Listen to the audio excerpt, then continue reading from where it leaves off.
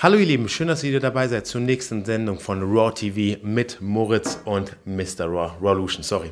Du hast ein super Video auf deinem Kanal veröffentlicht, du bist auch wieder online. Wir haben vor zwei Tagen ein Video zum Coronavirus veröffentlicht und müssen anlässlich dieser akuten Bedrohung für die Menschheit euch Lösungsansätze präsentieren, noch und nöcher. Im letzten Video haben wir das schon getan, wir haben euch einige super Präparate und Möglichkeiten gegeben, euer Immunsystem zu stärken. Heute wollen wir aber auf eine neue Entdeckung eingehen, Immunregulatoren die tatsächlich euer Immunsystem massiv steigern können. Ähm, wir werden das ganz äh, chronologisch aufbauen. Das heißt, wir werden erzählen, wie das Immunsystem funktioniert, werden verstehen, wie das Immunsystem dirigiert wird und von wem und werden euch dazu eine lange Reise mitnehmen. Jetzt mal ganz kurz in drei Sätzen gesagt, was ist diese neue Entdeckung dieser Immunregulatoren und wie viel Prozent mehr Aktivität der Immunzellen haben diese Regulatoren im Vergleich zu Echinacea, zu Vitalpilzen und zu anderen ganz stark immunaktiven Substanzen. Ja, es gibt ja so Substanzen, die man schon kennt, um das Immunsystem zu steigern, wie du schon gesagt hast, zum Beispiel auch Aloe Vera wäre auch noch eins. Und äh, das Besondere an diesen äh, Transferfaktoren, diesen Immunregulatoren ist, es ist eigentlich, es ist kein Vitamin, es ist kein Mineral, es ist keine Pflanze, es ist äh, keines der herkömmlichen Superfoods, die wir kennen. Wir können es nicht so einklassifizieren wie den Rest der Produkte oder Sachen, die wir so, die wir schon kennen. Es ist, es fällt nicht in diese Schiene. Es ist nämlich eigentlich nur eine Aminosäurenfrequenz. Es ist ein Polypeptid, also äh, man spricht ja äh, von Proteinen die äh, Einzelstücke davon, also die kleinsten Bestandteile dieser Proteine sind Aminosäuren, aber man nennt äh, Proteine erst dann Proteine ab einer Zusammenfaltung von 50 Aminosäuren. Ähm, bei Polypeptiden, ich glaube, ich weiß gar nicht, ob bei den Transferfaktoren, glaube ich, sind sogar nur drei äh, Aminosäuren, genau. Also sehr, ein sehr, sehr kleines Polypeptid, ähm, ja, was natürlicherweise in der Muttermilch vorkommt, was wir also eigentlich alle zur Geburt bekommen. Das steigert unser Immunsystem um bis zu 280 Prozent ähm, im Vergleich zu heutigen, äh, zu den anderen Produkten, die ich jetzt erwähnt habe, wie zum Beispiel Ginseng, ähm, Aloe Vera, Echinacea, das packt maximal so um die 50 Prozent. Genau. Also wir haben es hier mit ganz starken immunregulatorischen, intelligenten Zellen zu tun. Und um mal wieder chronologisch anzufangen, fangen wir auch mit unserer Präsentation vorne an. Und zwar wurden 1949 diese sogenannten Transferfaktoren entdeckt, die einen ganz, ganz starken Einfluss haben auf das Immunsystem. Dieses Immunsystem werden wir uns erstmal genau anschauen, damit wir sehen, wie weitreichend und wie wichtig es ist, das Immunsystem zu stabilisieren, um unser volles Potenzial zu leben, um Genexpression ausleben zu können, um gesund zu altern und um alle Krankheiten, ja, das Immunsystem, starkes Immunsystem, kann alle Viren, Bakterien, Krankheitsherde im Körper erstmal klassifizieren und identifizieren und dann eliminieren. Ganz wichtig, was du dazu gesagt hast, äh, das Anfangsliche, was du gesagt hast, sich weiterzuentwickeln, ist auch ganz wichtig, denn in dem Moment, wo ich ein schwaches Immunsystem habe, habe ich auch gleichzeitig nicht den Mut und die Kraft, innerlich Dinge anzugehen, Sachen anzusprechen, die mir auf die Nerven gehen äh, oder wo einfach meine Grenzen übertreten werden. Ich werde automatisch, wenn mein Immunsystem gesteigert wird, auch in meiner Außenwelt ähm, reaktiver und kann besser gegen Sachen angehen, die mir gegen den Strich gehen. Fantastisch, den werden wir später nochmal aufgreifen, der Punkt, weil er ein ganz entscheidender Effekt ist. Ja. Gut, Immunsystem. Also unser Immunsystem ähm, besteht aus mehreren quasi kleinen äh, Parteien oder sag ich mal, das Immunsystem hält sich in verschiedenen Körperpartien auf. Einmal im Herz-Kreislauf-System, in unseren Arterien, ja, wo die ganzen Helferzellen, die wir gleich analysieren werden, herumschwirren. Unser Hormonsystem bildet ein Großteil unseres Immunsystems. Unser Verdauungssystem, da sitzt 80 Prozent unserer Immunkraft. Deswegen werden wir da auch gleich ansetzen. Und natürlich im Nervensystem. Das Immunsystem ähm, ist quasi, ähm, wird belebt durch diese kleinen Zellen. Die kannst du ja mal aufzählen und vielleicht ein paar Sätze zu den einzelnen Zellen sagen, wenn dir da was. Äh, ja, also tatsächlich ist es erstmal so, es gibt ja die Stammzellen, äh, aus denen werden alle anderen Zellen gebildet, das ist ja ganz logisch, ja. Also nicht nur die Immunzellen auch. Ähm, dann gibt es zum einen äh, die T-Killer-Zellen. Die T-Killer-Zellen sind im Endeffekt dafür da, dass wenn erstmal äh, so ein, äh, ein Mikrobe, ein äh, Bakterium, was nicht im Körper erwünscht ist, ein Virus identifiziert passiert ist, die sind dann dafür da, diesen äh, zu zerlegen, äh, aufzuessen, zu zerstören, wie man das auch nennen will. Ähm, genau. Und so gibt es verschiedene kleine Zellen, die hier ähm, als Kollektiv arbeiten. Die eine Zelle markiert den Virus, die andere kommt und zerlegt ihn, die andere frisst ihn auf, die andere entgiftet ihn. Also sie haben alle ihre äh, Daseinsberechtigung. Und zum Thema T-Killer-Zellen, die Immunregulatoren, von denen wir hier reden, diese intelligenten Immunzellen, die steigern die Aktivität der T-Killerzellen um 437 Prozent studiennachweislich. Es ist unglaublich, aber die Entdeckung hat ähm, so weitreichende Fortschritte, äh, so weitreichende Implikationen, dass wir uns das nochmal genauer anschauen müssen. Also, hier haben wir gerade die Oberfläche von unserem Darm, die sogenannten Darmzotten. Das heißt, unser Darm, unser langer Schlauch, da sind so ganz kleine Härchen, die da reinraden, wie so Tentakel oder beim Korallenriff, die Korallen, die die Nährstoffe rausfiltern. Und auf diesen Korallen, da tummeln sich Viren, Bakterien und alles Mögliche, was in den Körper will. Wenn wir ein gesundes, starkes Immunsystem haben mit diesen Immunzellen, die hier in der Mucosa, in der Darmschleimhaut sitzen, dann erlauben die niemanden da reinzukommen. Wenn allerdings, und jetzt kommen wir zu den heutigen ähm, ähm Begebenheiten, die wir leider haben, unser Immunsystem ohnehin schon geschwächt ist, das wir gleich aufzählen werden, äh, was für Faktoren es liegt, dann haben diese Viren, Bakterien, biomorphen Organismen, äh, Pilze, Sporen und, äh, und äh, sowas auch wie Epstein-Barr, ja, ähm, einfach ein leichtes Spiel oder auch die Leimborreliose, wo du ja über Klingert wunderbar was erzählt hast, äh, ähm, was recherchiert hast. Gell? Ja, ganz genau. Also es gibt ja heutzutage ist meistens nicht das Problem, dass wir irgendeine akute Infektion haben. Das haben wir mittlerweile durch äh, Big Pharma sehr gut im Griff, sag ich mal.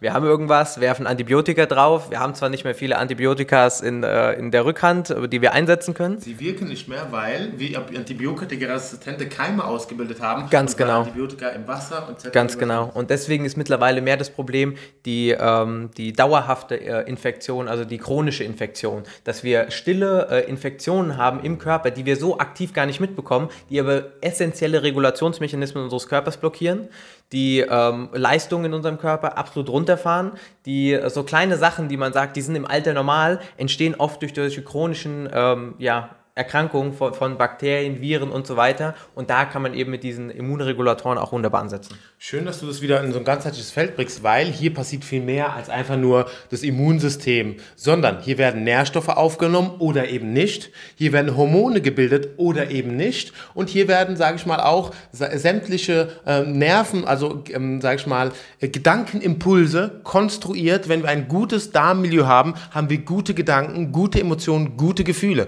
Also hier, hier hier spielt sich viel mehr ab, als wir bisher glaubten. Zum Glück gibt es wunderbare Bücher, Dame Charme oder neueste gastroendokrinologische Erkenntnisse, die uns das demonstrieren. Ganz also, wichtig ja? vielleicht nochmal darum, es geht eigentlich darum, ob wir uns mit diesen ähm, Bakterienhaufen hier gut stimmen, ob wir äh, gut mit unseren Nachbarn sind oder nicht. Ganz genau. Und äh, dementsprechend äh, gibt sich dann eben auch, ob da Keime und Viren eindringen können, ob unser Immunsystem stark oder schwach ist. Das ist gerade eigentlich der entscheidende Faktor. Ganz genau. Das Immunsystem braucht ähm, jemanden, der ihm sagt, was getan werden muss. Nehmen wir jetzt mal an, wir haben diese ganzen Zellen, also wir haben diese ganzen Zellen hier. Aber die brauchen Informationen. Da muss wie ein Coach da sein, wie ein Dirigent. Das ist ein schönes Bild. Wir haben ein Orchester, alle spielen eine gewisse Aufgabe, aber einer spielt gar nicht mit. Der Dirigent hat kein Instrument, was er führt.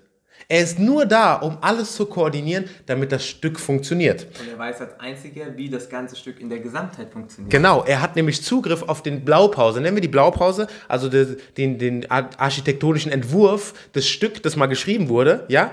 Darauf liest der Dirigent alles ab und dirigiert. Und genauso ist es hier. Kannst du diese Darstellung mal ein bisschen äh, erklären, wie das da funktioniert im Immunsystem? Ja, natürlich. Also das ist jetzt hier die angeborene Immunantwort, so eine Art Standardimmunantwort, was das Immunsystem erstmal macht, wenn es merkt, da ist eine Infektion da. Das hier ist die spezifische Immunantwort, also das, was passiert, wenn unser Immunsystem erstmal mit diesen Erinnerungszellen und so ausgekundschaftet hat, was ist es überhaupt für ein Virus, genau. äh, was kann ich damit machen und ich muss spezielle T-Killerzellen dafür ähm, kreieren, um eben diesen speziellen Virus zu töten, weil ich kann nicht mit jeder T-Killerzelle jeden Virus töten. Da, da, werden speziell welche in unserem Körper kreiert, um speziell das äh, zum Töten und das ist natürlich auch viel effektiver. Und diese äh, Antwort können wir eben mit diesen ähm, Transferfaktoren, mit diesen ähm, Peptiden extrem steigern. Ganz genau. Ja. Ja, hast du wunderbar erklärt. Das heißt, wir haben eine gesteigerte Immunantwort und kommen letztendlich zu dem Fakt, was dann letztendlich passiert. Es gibt einen Dirigenten, der koordiniert, der sagt, hey, da und da müsst ihr hin, ihr Zellen. Das heißt, eure Aufgabe wird klar definiert. Dadurch wird die gesamte Immunantwort gesteigert und quasi das Orchester ergibt einen Sinn. Und jetzt ist die Frage, wieso haben wir heutzutage das habe ich glaube ich gar nicht drin, so ein schwaches Immunsystem. Ah, doch, das, das suche ich gerade schnell raus. Du kannst schon mal die ersten Punkte einleiten. Wieso ist das Immunsystem heute ohnehin schon geschwächt? Ja, ähm, die Sache ist normalerweise, ähm, würden wir haben ja diese ganzen Dinge wie T-Killerzellen, Erinnerungszellen, diese ganzen Immunzellen haben wir bei der Geburt schon in unserem Körper vorhanden. Das ist alles funktionstüchtig. Das Einzige, was fehlt, ist der Dirigent, von dem wir jetzt gerade gesprochen haben, eben diese Peptide. Das Problem ist, normalerweise würden wir das alles über die Muttermilch zugeführt bekommen. Äh, das ist auch gar kein Problem. Die Mutter tut da wirklich im Übermaße davon herstellen. Also es ist wirklich ähm, kein, da ist eigentlich normalerweise kein Mangel da. Nur durch die heutzutage ähm, ja, Degeneration in unserem Körper, in unserem Umfeld, ähm, ist das leider nicht mehr der Fall. Die Mutter tut so gut wie gar kein Kolostrum, äh, nennt man das, ja. äh, mehr ausschütten und ähm, damit an das Baby weitergeben. Die Folge ist geschwächtes Immunsystem schon früh beim Baby, frühe Erkrankungen. Das Kind wird äh, zusätzlich noch äh, geimpft dann, gell, was ähm, mit sowas schon gar nicht nötig wäre. Abgesehen davon, ob man jetzt die ähm, Funktionsweise von Impfung generell in Frage stellt, ja, unabhängig davon. Ja, und dann ist natürlich noch ein zweiter Faktor, wenn äh, das Kind noch Kaiserschnitt, äh, also als Kaiserschnitt geboren wurde, wo dann natürlich auch, ähm, das ist ganz wichtig, nochmal kurz äh, ein kleiner Einwand, wenn äh, ein Kind geboren wird, ist es ganz wichtig, eigentlich eine Vaginalgeburt durchzuführen, da da äh, das äh, Mikrobiom des Kindes informiert wird. Extrem viele Bakterien, Keime und so weiter, praktisch auch unser ganzes Immunsystem, mhm. ähm, nochmal eins vor, hier diese ganzen Bakterien werden bei der Geburt an das Kind abgegeben. Wenn genau. ich das Kind aber rausschneide, einfach raushole, findet diese Information Information, diese Impfung praktisch, das ist wirklich die natürliche Impfung von Mutter Natur, genau. findet gar nicht statt. Darf ich da kurz einhaken? Ja, darf gleich weitermachen? Bitte. Sehr, sehr guter Punkt. Weil wenn diese, also wir müssen uns vorstellen, wir haben alle diese Zellen da. Aber wenn bei der Geburt nicht über die Mutter dieser erste Impuls, diese Information, diese intelligenten Immunregulatoren, die, die direkt eingesetzt werden, dann sind die Zellen da, aber sie sind gar nicht aktiv, sie wissen gar nicht wohin. Und jetzt ist es Fakt, was er wunderbar sagt. Erstens hat das Kolostrum stark abgenommen, das heißt, die Mutter produziert viel, viel weniger dieser Vormilch, Erstens. Und zweitens mal ist durch die Strahlung und die Umweltbelastung diese, diese, ähm, das Immunsystem viel, viel schwächer. Das heißt, die Zellen sind weniger vorhanden und die sind teilweise kaputt. So kannst du weitermachen. Ja, ganz genau. Ja, gar kein Problem. Äh, das ist eben auch wichtig. Dieses Kolostrum ist normalerweise in der Muttermilch drin. Ganz besonders, was äh, wohl äh, durch ähm, Studien jetzt rausgekommen ist, der Hauptfaktor ist elektromagnetische ja. Strahlung, dass dieses Kolostrum eben nicht mehr produziert wird in der Muttermilch und somit das Kind nicht mehr informiert wird. Und man sieht es ja auch immer mehr. Die Kinder sind immer mehr krank. Ja, äh, also früher gab es sowas nicht, dass die Kinder einfach die ganze Zeit krank waren und ah, mein Kind ist krank. Ich meine, du kennst ja auch, war, war dein Sohn schon mal krank? Er hatte mal einen Schnupfen. Ähm, ich muss aber auch dazu sagen, die Umweltbelastung hier in Frankfurt ist extrem. Das heißt, wir haben Chemtrails von oben. Zum Glück trinkt er gutes Wasser. Nahrungsmittel sind heute voller Glyphosat, ja, zerstört ja. das Immunsystem. Also man darf heute auch mal verschnupft sein, aber er ist viel, viel weniger krank und viel, also eigentlich ist er nie krank, er hat mal einen Schnupfen gehabt. Ja, und ähm, vielleicht äh, wollen wir jetzt mal dazu kommen, was dieses Kolostrum neben diesem Immunsystem noch für weitere Effekte hat. Das sind ja noch viel weitreichende Folgen, nur dass ich jetzt weniger krank werde und äh, was wir vorhin jetzt vielleicht noch erwähnt haben, bessere Durchsetzungsfähigkeit haben. Also du darfst gerne damit ansetzen, ich würde aber gerne in einer zweiten Sendung weitermachen, weil wir schon wieder Überlänge haben. Es geht okay. so die Funktion des Immunsystems zu verstehen, die, Immun, die intelligenten Immunzellen zu verstehen und jetzt werden wir in die Geschichte dieses Kolostrums eintauchen ja, genau. und uns mal anschauen, was das mit den Kühen, Kolostrum, was das überhaupt ist und was da überhaupt äh, Sache ist. Also machen wir einfach eine zweite Folge. Wir machen eine zweite Folge. Schön, dass ihr dabei geblieben seid. Wenn ihr wissen wollt, wie ihr euer Immunsystem stärken könnt, oh, darf ich kurz? Ja, gerne. Wenn ihr wissen wollt, wie ihr Immunsystem stärken könnt, wie ihr wissen wollt, wie ihr euch gegen Viren, Bakterien, Epstein-Barr, aber auch die Leimborreliose effektiv schützt und vorbeugen könnt, dann folgt weiterhin, schaut euch nochmal die letzte Sendung an, wo wir wunderbar auch schon über diesen Coronavirus geredet haben. Wir haben Möglichkeiten noch und nöcher und das ist die stärkste Möglichkeit, sich auf diese intelligenten Immunzellen zu konzentrieren. Danke dir für deine Expertise, Moritz. Hat mich sehr gefreut. Schön, dass ihr dabei wart. Wir sehen uns morgen wieder, spätestens Ciao. übermorgen. Ciao. Danke fürs Zuschauen. Und wenn ihr Lust auf mehr Gesundheit bekommen habt, besucht uns doch in der Rohkosteria in Frankfurt. Lasst euch kulinarisch verführen und geschmacklich verzaubern. Macht einen Bio-Vital-Scan und wir stellen euch einen individuellen Ernährungsplan zusammen, der genau an eure persönlichen Bedürfnisse angepasst ist und auch nur die speziellen Superfoods enthält, die ihr auch wirklich braucht.